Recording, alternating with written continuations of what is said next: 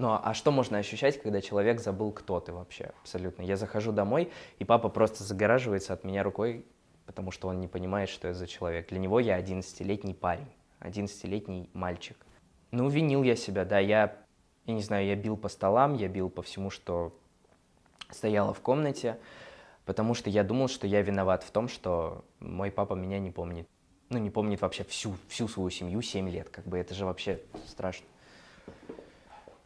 Да и глупо, ну как, как это вообще может быть? А, песни я пишу поп песни, а, писал для эстрады, потому что у меня сейчас а, контракт с лейблом, с лейблом я как исполнитель, да, на лейбле. И я лежу и понимаю, что мне приходит полностью целый куплет, просто с мелодией, просто со словами, совсем.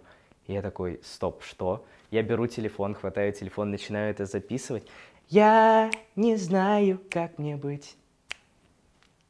Все пропало так внезапно.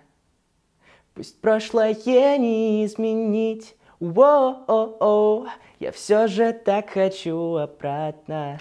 Ну, такая вот история. В общем, я бы поехал с любимым человеком в Корею. Потому что ей нравится... Ей нравится кей-поп.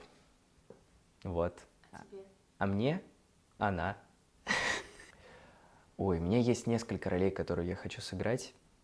Одна из них — это парень-музыкант, потому что у меня все для этого есть. А, это парень, который пишет максимально крутую музыку, но, наверное, его недооценивают. И да и он себя недооценивает объективно, это все про меня, я бы с радостью сыграл эту роль. Я снимался в сериале «Придуманное счастье». За этот сериал я попал в премию продюсеров АПК за лучшую мужскую роль второго плана. Я этим горжусь, и это было очень круто. Это очень хорошая работа, я считаю.